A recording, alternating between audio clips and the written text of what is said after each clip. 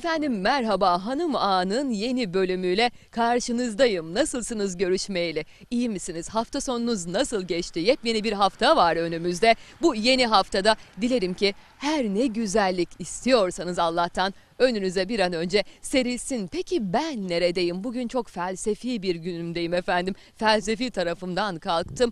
Şimdi ağaç kökleri ve ağaç gövdelerinin olduğu bir yerdeyim. Acaba burada ne yapıyorum? Ağaç kökleri. Tıpkı insanlar gibi bizler de kimi zaman köklerimizi salıyoruz bir yerlere veyahut hayata. Kimi zaman ise bir haber yaşıyoruz belki de kök salmanın ne olduğundan. Köksüz yaşıyoruz. Sağlam durmuyoruz, sağlam basmıyoruz yere. Salın köklerinizi. Köklerimizi salalım, yere sağlam basalım, toprağı tutalım ki bu hayatın tadına varabilelim. Kimi insan ise işte tıpkı bu ağaç gövdesinde olduğu gibi dışarıdan baktığınız zaman sağlam duruyor ama içine baktığınız zaman maalesef içi boşalmış olabiliyor. Bakın bomboş içerisi. Yani içimizi boşaltmayalım, içimiz de dolu olsun. Her ne olursa olsun dışarıdan sağlam duralım ama içimizin de dolu olmasına dikkat edelim. Hayat bu çok kısa. Kısa ama keyifli hale getirmek elimizde. İşte hayatı keyifli hale getirenlerden bir tanesi. Bu ağaç kökleri ve ağaç gövdelerine hayat veren adam. Ahmet'in yanına geldik. Bakalım Ahmet neler yapıyor. Merhaba, kolay gelsin. Merhaba, hoş geldiniz. Nasılsınız? Teşekkür ederim, iyiyim. Siz nasılsınız? Teşekkürler. Bizler de gayet iyiyiz. Şimdi e, ilginç bir şeyler yapıyorsun burada. Herkesin yapmadığı bir şey yapıyorsun aslında. Usta ellerle karşı karşıyayız. Ya aslında usta eller dememek lazım buna. Sadece e, doğaya birazcık daha farklı gözle bakmak. Yani doğada hep var olan ağaç köklerini birazcık da hayata sokabilmek bu.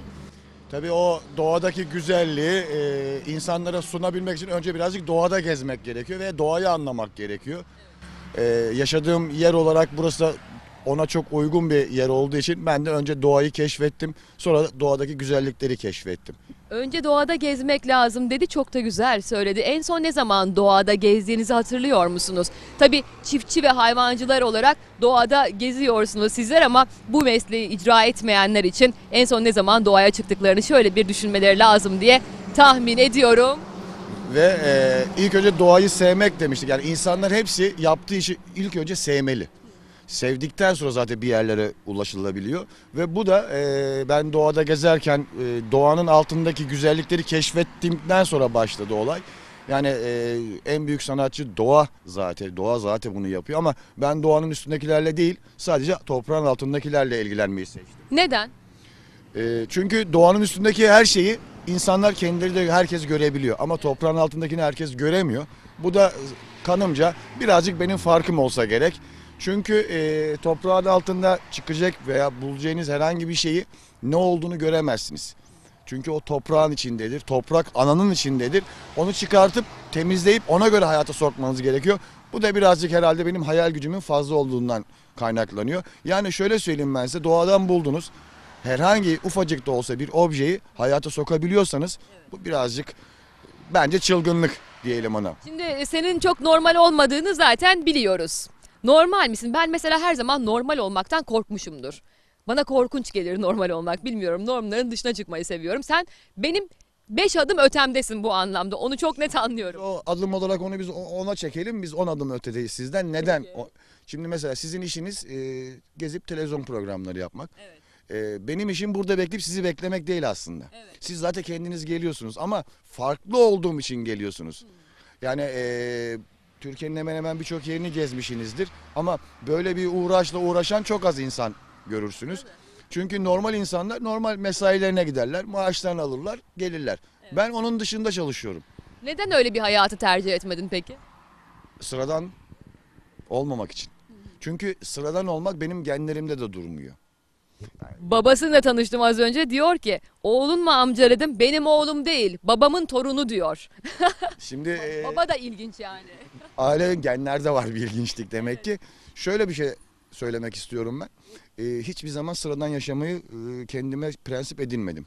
Hep sıra dışı yaşamayı kendime prensip edindim. Ve bu da insana ne getiriyor biliyor musunuz? Mesela Tamam benim mesela burada yazıyor. Crazy diye yazıyor. Şu bilekliği e, mutlaka görmesi gerekiyor izleyicilerimizin. Crazy efendim İngilizce'de çılgın anlamına geliyor. Ve e, Bileklik yapmış kendine yine bu Tabii tamamen ağaç köklerinde ve tamamen doğal hali o. Ee, şunu da söyleyeyim ben size. Benim bu yaptığım iş aslında birazcık doğayın e, verdiklerini ön plana çıkartmak. Mesela doğadan bulduğunuz bir şeyi evinizde siz bir ma- masa olarak düşünün. Veya bir sehpa düşünün veya bir askı veya ben ne bileyim yatak başı aklınıza ne gelebiliyorsa doğada olan malzemelerden bunları yapabiliyorsunuz. Tabii doğa bunları al bunu götür evine abajur yap demiyor. Birazcık dokunmak gerekiyor. O dokunmak da benim işim. Mesela bakın şu karagürgen ağacının kökü ve üstünde taşı da var bunun. İşte bütünlük böyle bir şey. Ve e, bu buldum, getirdim. taş var değerli izleyiciler tam ağacın. e, Tabii ki tabii ki o e, zamanın zamanında içine almış taşı, sıkmış ve bir daha da bırakmamış. Şimdi ben bunu getirdim. Evet. Hafif birazcık dokundum. İşte o çılgın dokunuşu diyelim. Evet. Üstüne cam koyduğunuz zaman bu bir sehpa olacak. Bunları nereden buluyorsun peki? Şimdi e, bölge itibariyle çok ormanlık bir bölgede yaşıyoruz. Artı bir de bol miktarda inşaat alanımız var. E, şimdi e, yurt dışından olsun, Türkiye'nin muhtelif yerlerinden olsun insanlar buraya gezmeye geldiklerinde çok beğenip işte burada kendilerine mülk ediniyorlar. İşte mülk yapabilmek için veya ev yapabilmek için kepçe çalıştırıp o bizim güzel üstüne titrediğimiz doğamızı katlediyorlar. Bunları söküp atıyorlar. Çünkü bunları söktükleri yere ev yapacaklar. İstanbul'a gelsen kafayı yersin bu anlamda. Özellikle 3. köprünün yapıldığı yerden ne ağaçlar kesildi. Sizce, sizce gelir miyim? Vallahi bence gelme. Gelmem ki zaten. Niye gelmeyeyim? Şunu da söylüyorum ben size. İstanbul'da yaşamak, büyük şehirlerde yaşamak gerçekten bir hengamedir. Ee, zordur. Ama burada eziyetin hem de en üst seviye, seviyesindedir. Düşünsenize yani şu kadar milyon insanın yaşadığı bir İstanbul'da bir de bir yerden bir yere gitmek bile sorun olduğu bir dönemdeysek e, niye ben buradan başka bir yere gideyim ki? Bir de şöyle de düş- düşünelim olayı aslında. Mesela İstanbul'a ben gitsem. Niye gideyim ki? İstanbullu buraya geliyor zaten. Onun için onların buraya geldiği yere ben niye bir daha bırakıp burayı bırakıp da oraya gideyim ki? İstanbul Sosyetesi burada değerli izleyiciler. Buradan ev almışlar. Sayfiye yeri olarak burayı kullanıyorlar. Çünkü çok huzurlu, çok keyifli bir yer. Ee, çok da şahsına münhasır kişilikleri bünyesinde barındırıyor Yalıkköy. Ee, bir sürü tabii öyle yaşayan insanımız var ama Evet. şöyle bir şey söyleyeyim. Ben bu işe ilk başladığım zaman bütün ev halkı da olmak üzere veya köy halkı da olmak üzere herkes ilk önce şey dedi bana. Deli misin sen nelerle uğraşıyorsun? Yok canım. Ben de öyle dedim. Ondan sonra e, ondan sonra olayı ben inatla devam ettirdim. E, sonra bu hobi mesleğe dönüştü, kazanca dönüştü ve şimdi Allah'ımıza bin şükürler olsun. E, hem sevdiğiniz işi yapıyorsunuz. Çünkü şöyle bir şey söyleyeyim ben size. Benim zevkime, benim yaptığım tasarıma vatandaşlar para ödüyorlar. Bu bence daha keyifli. Ama bunu e, bu boyuta getirmek için tabii ki kendinizi geliştirmeniz gerekiyor. Araştıracaksınız. En azından gezeceksiniz. Yani doğayı gezeceksiniz. Çünkü her ürün bir tane olduğu için yani bir ikincisi yok. Onun için ona benzerini yakalamaya çalışacaksın. Yani bu da doğada gezerken farklı bir gözle bakmayı öğretiyor insana. Ya, inatçı da olmak lazım. Ee, bu işi ben yapacağım, meslek edineceğim diye bakın kendinizi geliştirmeniz gereken bir dönem olduğunu söyledi. Dolayısıyla kök söktürürüm adama diyorsun değil mi? Kök O- söktürmek bu işte. Vallahi kökü ben sökerim ama onu evine götürmek isteyen insanlar bana bir miktar para ödemek zorunda kalırlar. Kapitalist çarkın altında o da bir dişli haline gelmiş ister istemez. Ne yapacak? Mecbur. Şöyle söyleyeyim tabii ben burada bunu söylüyorum ama şunu da söyleyeyim. Mesela örnek veriyorum bir müşterimiz geldi atıyorum şu sehpayı veya şu sehpayı beğendi. Ee, bunu benden alması birazcık zordur. Hani parayla alması zordur. Ama insan olarak alabilir.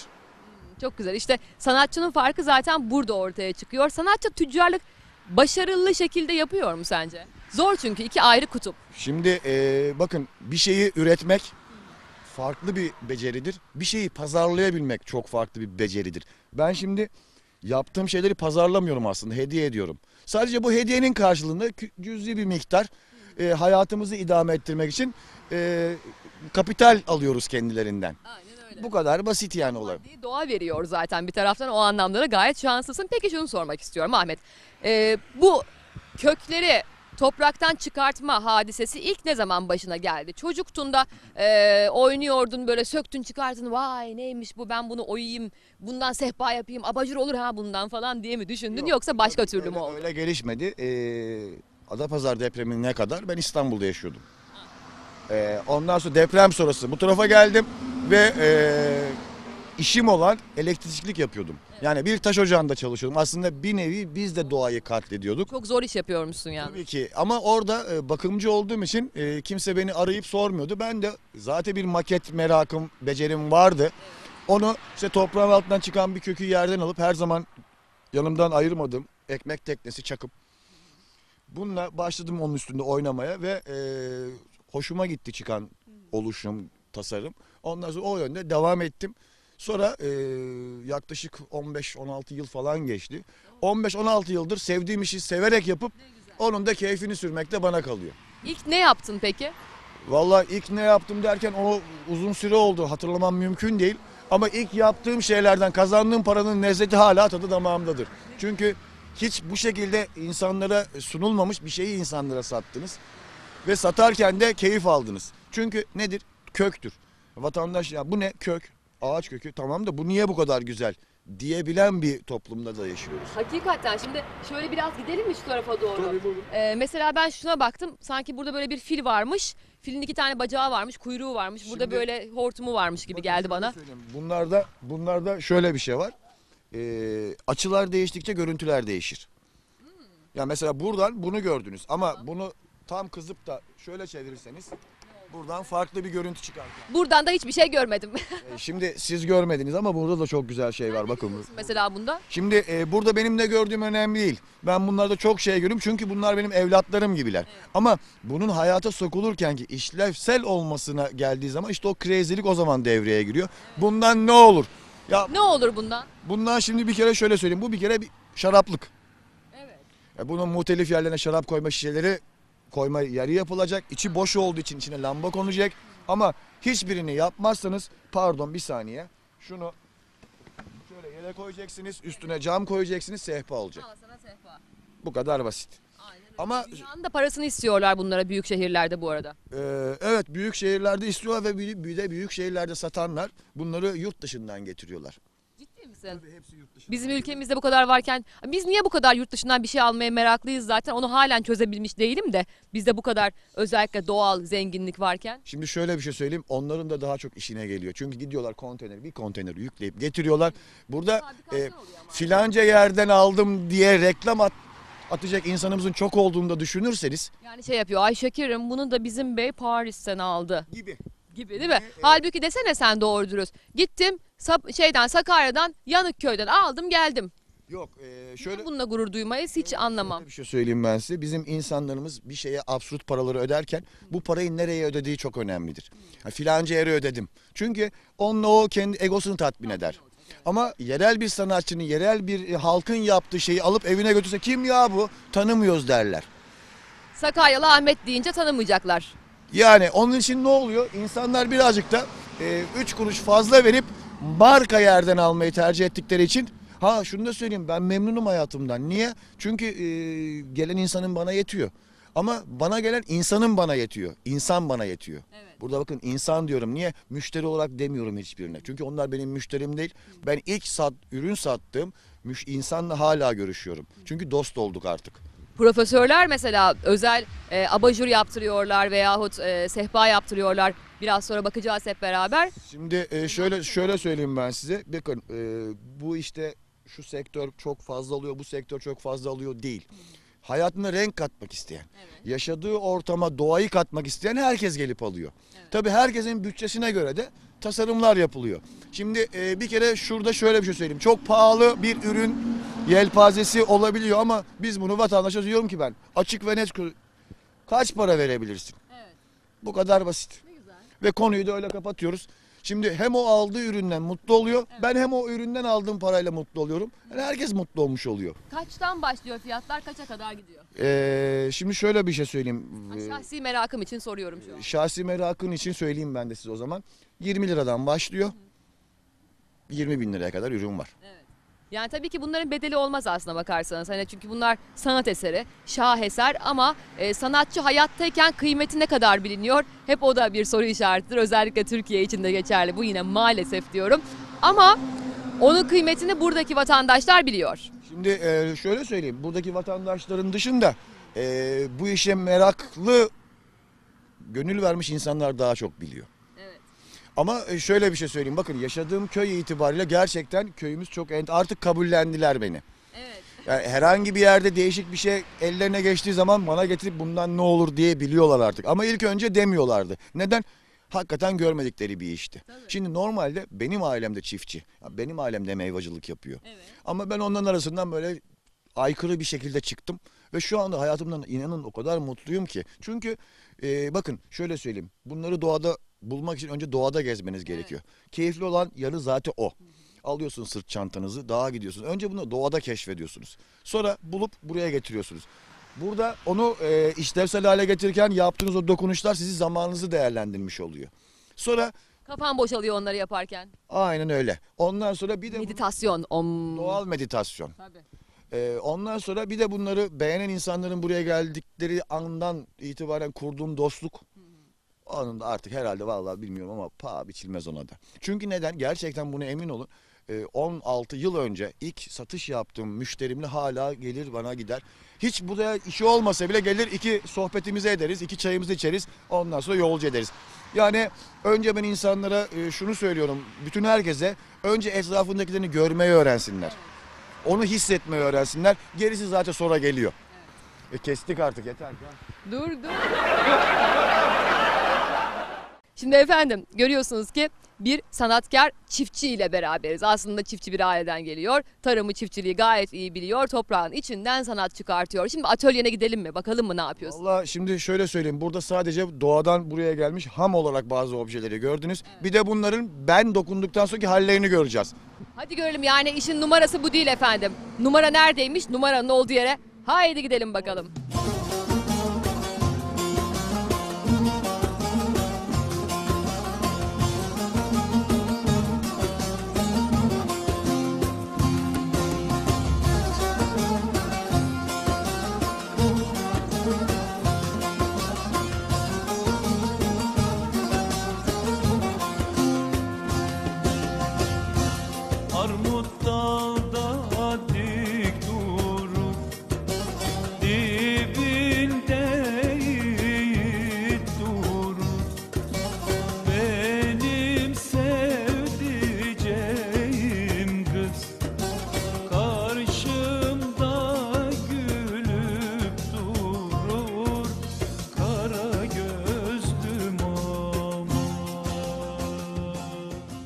Efendim şimdi Ahmet'in atölyesine geldik ve hani az önce ağaçları gördüler. Bana soruyor şimdi diyor ki bunlar ne? Ben böyle odun, hayır diyor odun değil onların ruhu var. Efendim ruhlandırıldığı yere geldik şimdi ağaçlarının doğru mudur? Şimdi e, dışarıda gördükleriniz tamamen doğadan geldikleri hallerindeydiler. Evet. Ondan sonra o dediğimiz o çılgın crazy işte onlara birer dokundu işte bu hallere geldiler.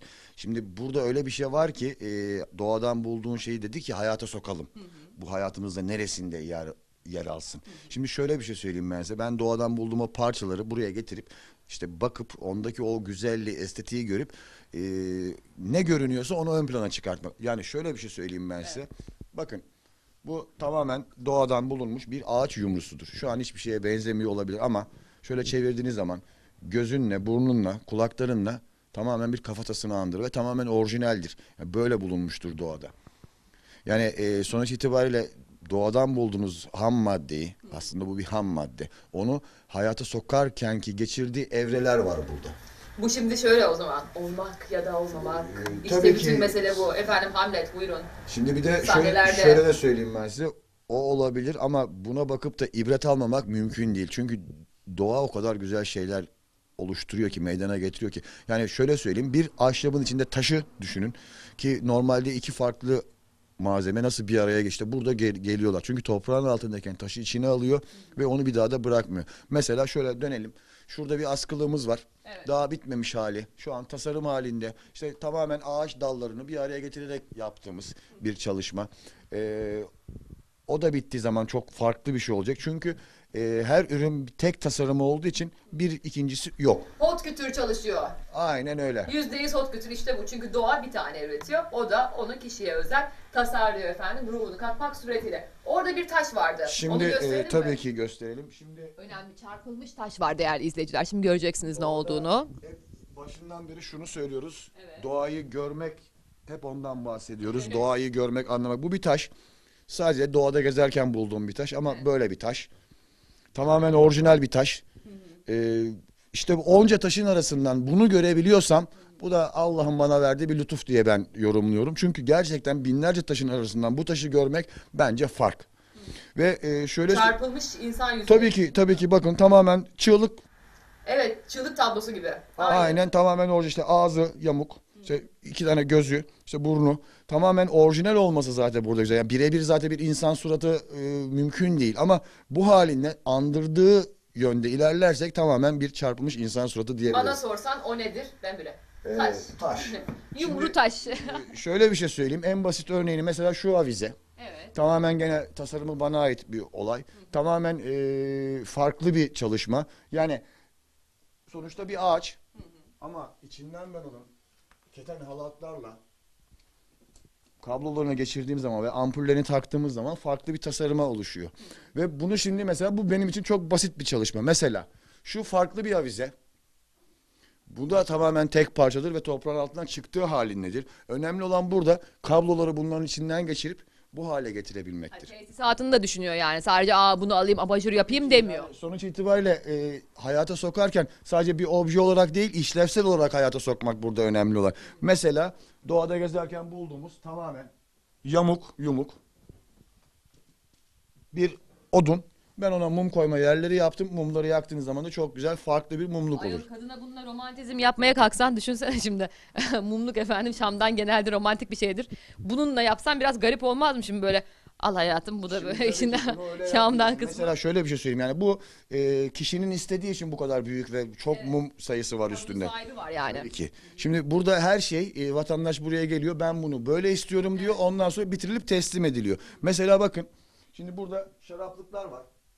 Şaraplık. Farklı bir avizemiz var. Orada bir başka bir şaraplığımız var. Orada farklı bir şaraplığımız var. Düşünün ki doğadan bulduğunuz bir ağaç yomrusunu şu şekilde yaparak abajur olarak kullanabiliyorsunuz.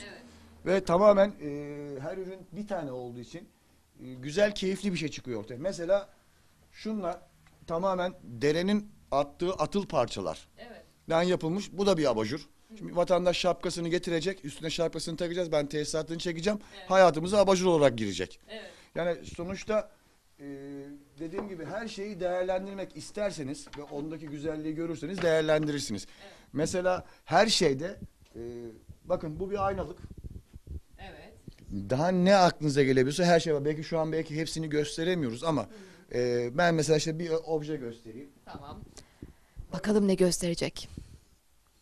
Bu tarafa almak mümkün müdür onu? Ya da o taraftan şöyle çekelim biz arkadaşlar ben geleyim. Şimdi e, doğada bulunmuş bir daldır. Evet. E, bunun içinden kablosu geçmiştir.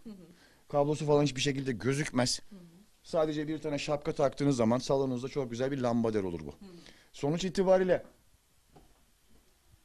bakın tamamen doğal, tek parça, parça mı buldun? tamamen tek parçadır. Gerçekten mi? İşte burada bu buyurun inceleyin. Evet. Tamamen doğal ve tek parçadır. Bunun da komple içinden kablosu geçer. Vatandaş salonuna uygun şapkasını buraya getirdiği zaman ben bunu monte ettiğim zaman 10 numara bir lambader olur.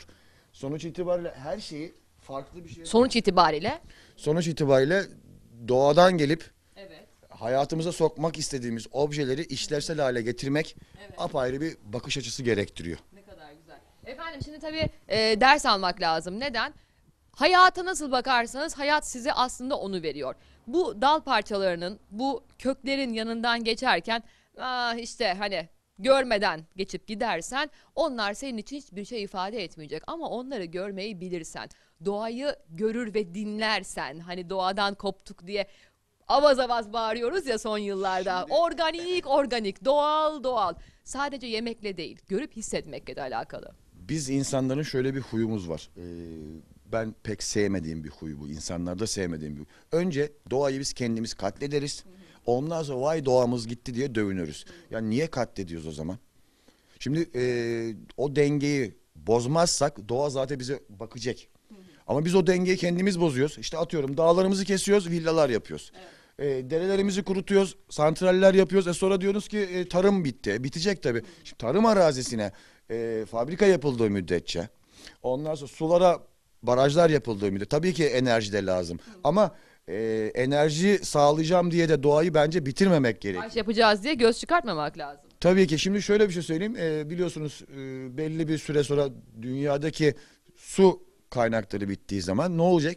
Su içemeyeceksiniz. Su içemeyince insan yaşayabilecek mi veya bir şey yaşayabilecek? Bitki bile yetişmeyecek. Ve sonuç itibariyle dengeleri biz kendimiz bozduğumuz sürece e, hiçbir zaman iyiye gitmeyeceğiz. Ama nedir şimdi insanlar şunu söyleyecekler bana. Ben bunu çok iyi biliyorum. Ya sen bu kadar kökü doğadan topluyorsun. Hayır arkadaşım ben bunu doğadan topluyorum ama ben hiçbir ağaca zarar vermiyorum. İşi bitmiş zaten bunların. Şimdi e, tabii ki bunları e, söktüğüm yerlere ki vaktiniz olsa da bir gitseniz yani o doğanın nasıl o iş makinelerine katledildiğini bir görseniz ondan sonra diyeceksiniz ki gerçekten bu kadar doğa katlediliyor mu? Bu sadece burada bunun milyonda biri. Çünkü bir o kadarı da toprağın altında kalıyor. Çünkü vatandaş bunları kepçeyle söküyor, ve toprağın altına gömüyor.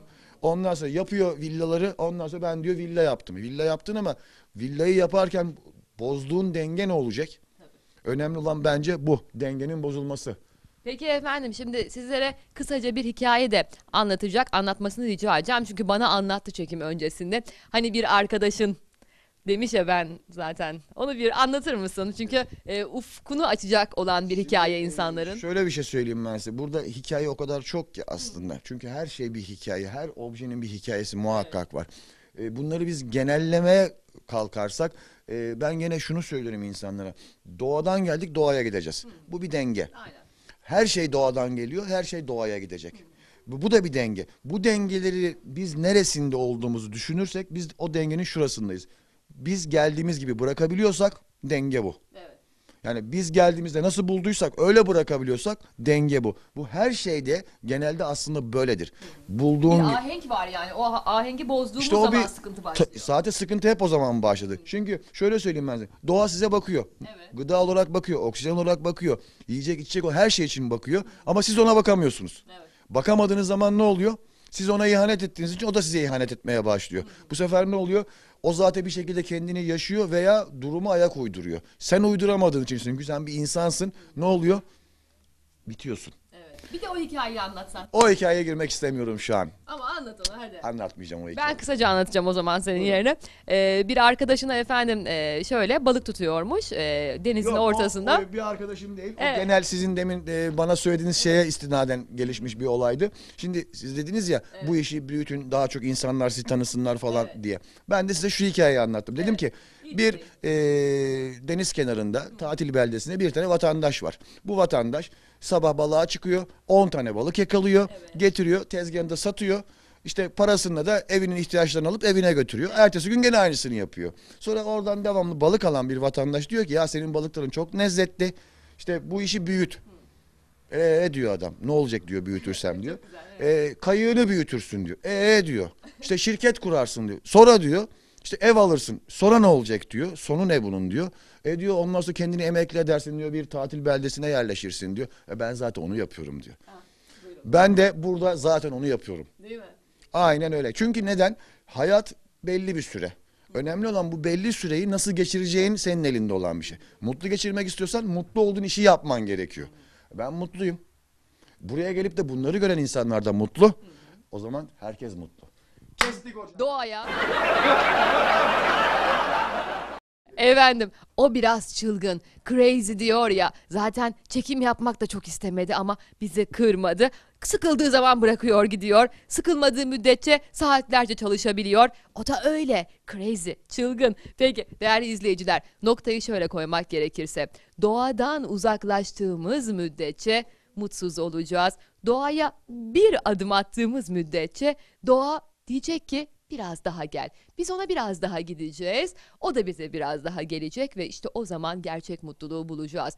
Doğa olmadan kendi kıyametimizin içerisinde korkularımıza hapsolmuş şekilde hayatlarımızı beyhude harcıyoruz belki de.